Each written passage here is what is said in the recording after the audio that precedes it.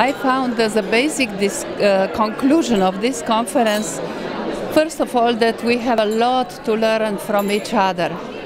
The second is that without a very developed education of elderly, we cannot have active aging. That's no point. These two goes together. There is a lifelong process of education and there is a lifelong process of work.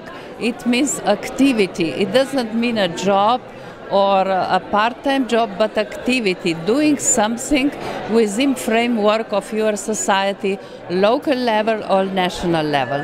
And we cannot avoid uh, the problem that we have to change the role of elderly people in the society.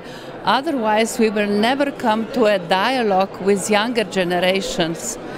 The old position the stereotypes of old people in the society will destroy, will destroy primarily the younger generation, the middle generation, the young people. We have to cooperate and all together uh, contribute to the society and people.